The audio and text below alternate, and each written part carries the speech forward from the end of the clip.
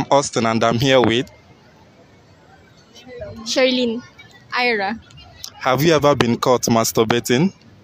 Uh, no. I'm sorry? Have you ever been caught masturbating?